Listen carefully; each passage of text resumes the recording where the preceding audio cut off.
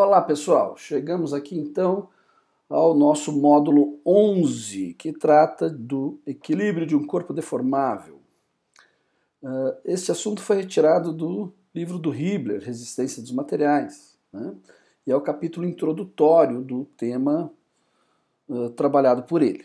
Mas não vamos perder tempo, vamos direto ao exercício 11.1. Determine o torque interno resultante que age nas seções transversais nos pontos B e C. Acompanhem o desenho e vejam que o torque nada mais é do que um momento em torno do eixo normal. Né? Então vamos direto às explicações do professor Ricardo.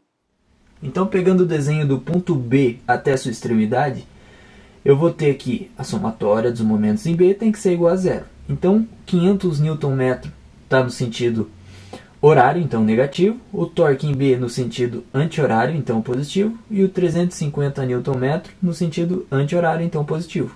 Então, isolando o torque B, eu vou achar que vale 150 Nm. Então, fazendo a mesma coisa aqui para o ponto C, então do ponto C até a extremidade, eu vou fazer que a somatória dos momentos em C tem que ser igual a zero. Então, o 500 Nm vai estar no sentido horário, então negativo, e o torque em C no sentido anti-horário, então positivo. Então, eu vou achar meu torque em C, que é 500 Nm.